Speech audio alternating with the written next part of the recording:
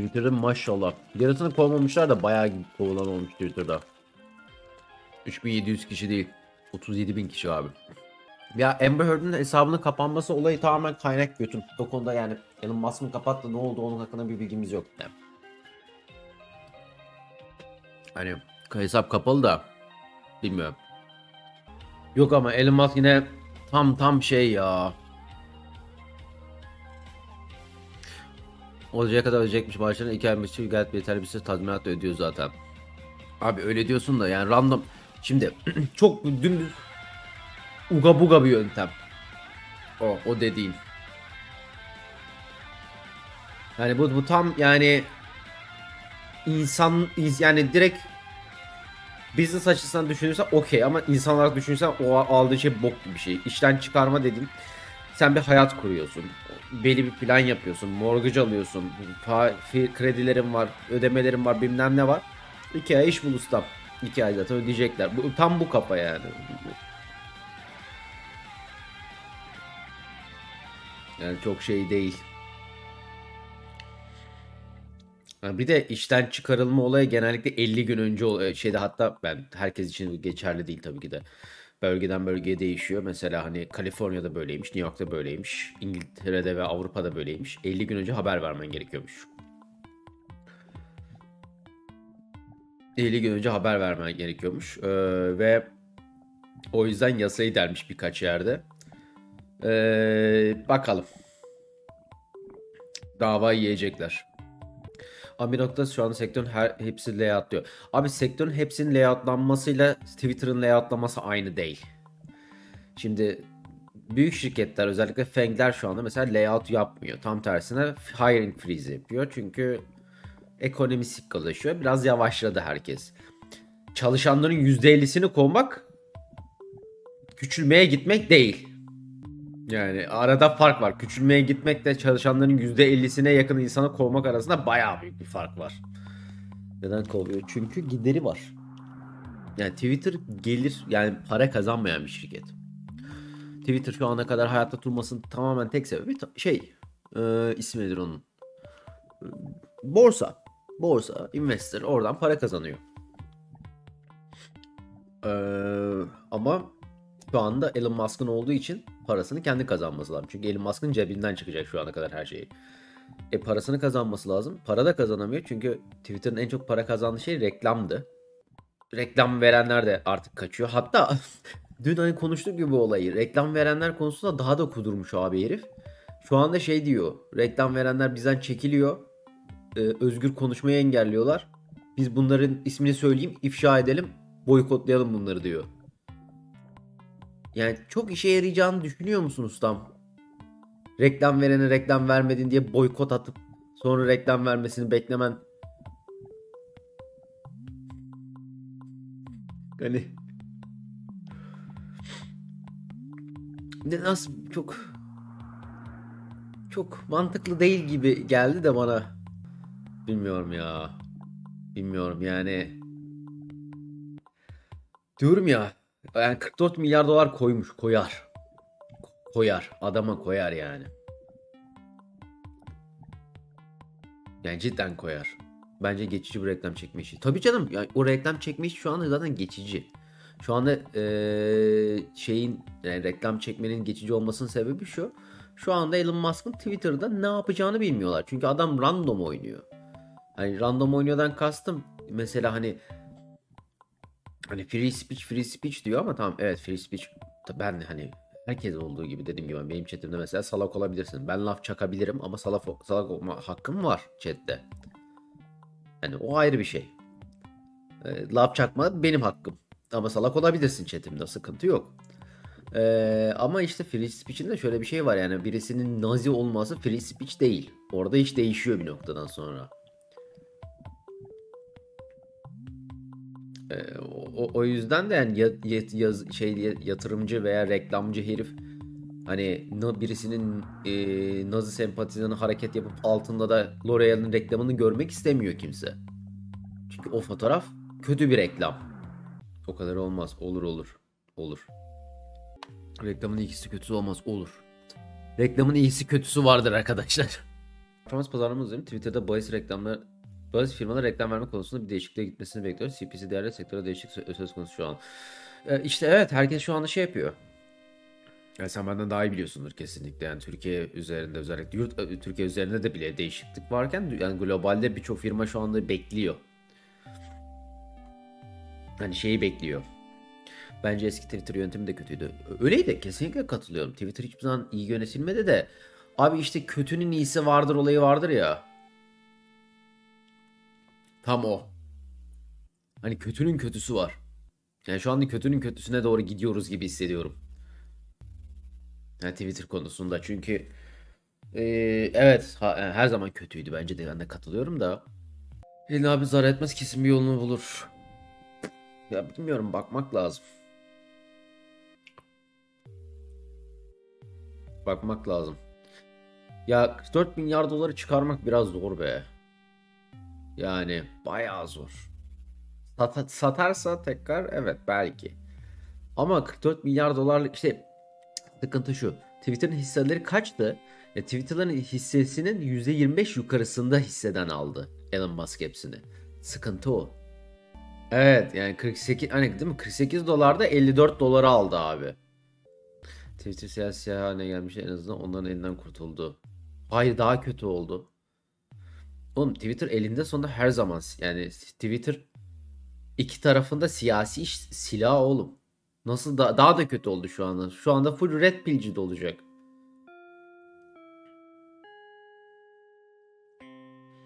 Yani Rusya'nın en büyük saldırı yaptığı şeyin Twitter olduğunu biliyoruz zaten. Araştırmalardan. Amber'ın banın gerçek olup olmadığını bilmiyoruz. En azından ben bilmiyorum. Ya diyorum ya adam zaten aslında elinde sonunda almak istemiyordu. Sike sike anlaşma imzaladığı için anla, ya almak zorunda kaldı. Kaçamadı. Ya adamın elinde patladı resmen anlaşma yaptığı için. Tam böyle şey oldu. Lan. Üstümdeki nereden alıyoruz? Ah be ustam bunu alamazsın. Bitti. Stokları. Lavabo ile girme olayı. O espri abi. Let that sink in diye bir hani böyle hani hazmet bunun tarzında bir espri var. Sink lavabo demek. Hani lavabo ile girdim. Let that sink in. Sink'i içeri al. Haha. Bunu kodum. Bir daha yapma lütfen. Tam bu. Çok gül gül öldük bir daha yapma.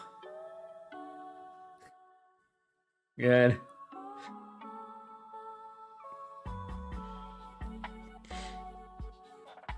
Elon mizaj. Şakamatik herif. 44 milyar ödeyince benim benim spat.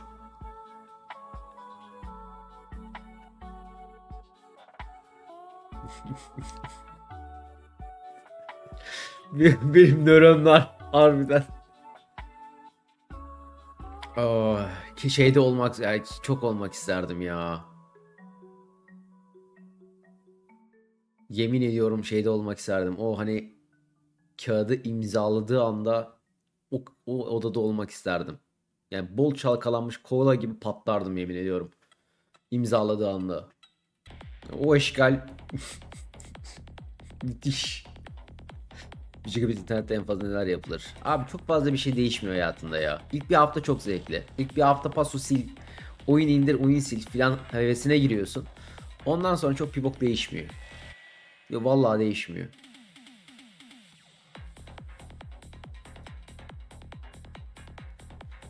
Yüzden bir gigabit çıkıyor yerine çıkıyor. Yüzde kasıyorsa o yüzü veren çok boktan veriyordur ondandır o. Yani yüzde bir arasında e, tabii ki de fark var yani bir oyun indirirken çok hızlı indiriyorsun. O çok ayrı kesinlikle onu hani reddetmiyorum. Ama günlük kullanımda çok bir bok değişmiyor.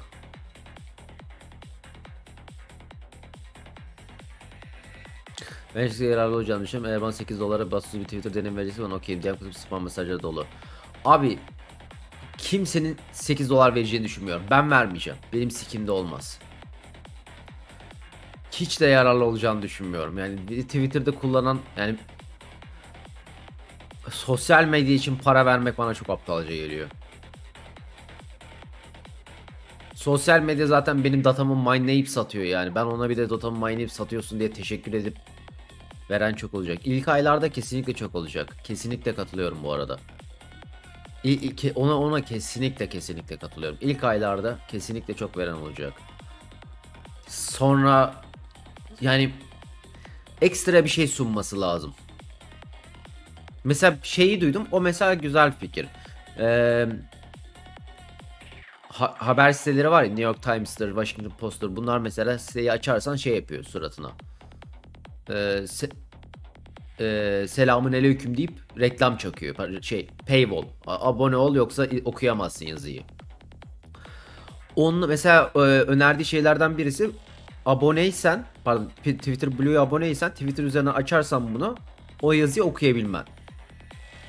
Bu okey. Yine 8 dolarlık bir içerik değil ama okey olabileceğim bir şey. Çünkü ben harbiden hani okumuyorum bazı şeyleri ama onun gibi olsa hani ekstra benefiti olsa düşünürüm. Çünkü mesela YouTube'un be- benefiti var. Reklam görmüyorum. Ve YouTube'un hani ekstra özellik var. Çünkü YouTube'un ana olayı reklam. Twitter'da reklam ne yapayım? Gözümü kapatsam gidiyor zaten anasını satayım. Hani ne yapabilirsin ki bana? Reklam free böyle yani reklam görmeden bir experience sunacak. Sikimde değil. Ne sikimde değil. Çünkü kullanmayacağım. Tik. Tik'in kimseye faydası yani yani yani uzun video ve ses olayları var. Abi Twitter'dan video izlemek için gözümü çıkarırım daha iyi. Yani Twitter'da uzun video ve ses yani cidden gözümü çıkarırım daha iyi.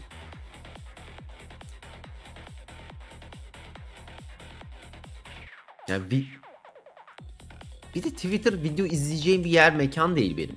Ben mesela şeyde nefret ediyorum yani milletin millet Twitter'a koyuyor ya trailerlarını. Koyma. Yapma. Lütfen duralım. Lütfen duralım abi. Hani gerçekten yapmayalım. Artı 18 siteye dönmemesi için ne yapacak? Abi artı 18 siteye dönsün. Bak o dünyanın da en aptalca şeyi. Herkes sanki hiç kimse sikişmiyor nasıl satayım. Mitozla bölünüyoruz. Sanki mitozla bölünüyorsunuz. 7-24 31 çektiğinizde No Net November diye bir şey yapıyorsunuz ya. 2 saniye durulayım da ne, sikim tekrar yerine gelsin diye.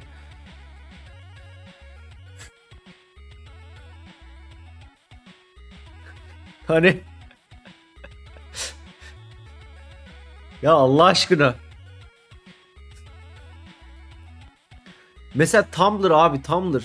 Tumblr muazzam komedi ya. Tumblr'ın mesela hayatımda gördüğüm en aptalca karardı ya. Tumblr zaten bir zaten fanboylar tarafından kullanılıyor. İki seks için kullanılıyordu. Tumblr'da pornoyu kaldırmak kadar abi kimse mi demedi ya. Bak yarak gibi ajans olarak biz bunları düzelteceğiz arkadaşlar. Paketlerimiz var. Yarak gibi olmuş paketi mesela. Gideceğiz toplantınızda var olacağız ve salakça bir şey söylediğinizde yarak gibi olmuş diyeceğiz. Halledeceğiz. Yarak gibi ajans olarak bunları da çözeceğiz. OnlyFans ve Patreon da aynısını yaptı. OnlyFans tam yapmadı. OnlyFans ilk evet bu arada OnlyFans de yap- yapıyordu. Patreon yaptı onu. Battı. Patreon yaptı ve battı. Ondan sonra OnlyFans dedi ki bunlar mal ben bunların ekmeğini alırım. Aldı. Sonra aynısını OnlyFans de yaptı. OnlyFans dedi ki pornoya bir bölümünü engelleyeceğiz. Ya başka giren mi var? Gitar çalan adam için mi giriyorum OnlyFans'e? Ne için giriyor? Sonra durdular. Birisi Allah'tan orada YGA ajansından bir eleman vardı. Bir demiş yarak gibi olmuş bu fikir diye geriye aldılar. Allah'tan orada YGA'dan bir şey vardı yani.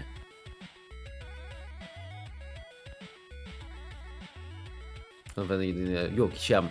Evet ondan sonra da hemen de Fenzi de açıldı. Fenzi de şeye reklam veriyor. Ee, QT, Cinderella falan e, reklam verin şey yapınca özel içerik falan yapınca onlara hani şeyleri Twitch yayıncıların eventlerine veriyorlar. Hmm, XQC'nin de mesela XQC'nin event de XQC'nin Ludwig'in düzenlediği event de Fanzine sponsorlu.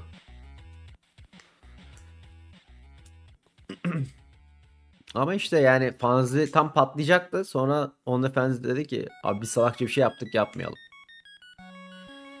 Ya dedim ki Twitter bakalım ne olacak. Ama yani adamın şu anda son bir haftada verdiği bir tane doğru karar yok. Gibi hissediyorum. Zaman gösterecek bunu da. Hmm, bu arada ben şeye de katılıyorum. Bazı insanların kovulma yani Twi- Twitter'da çok fazla bence insan çalışıyordu ve herkes yani şöyle bir şey oluyor şirketler çok büyüyünce. Bir adam kod yazıyor. O adamın menajerden bir adam oluyor. O adamın menajerden menajerden adamın menajeri oluyor. Onu da birisi manage ediyor. Ama sadece bir adam iş yapıyor aslında.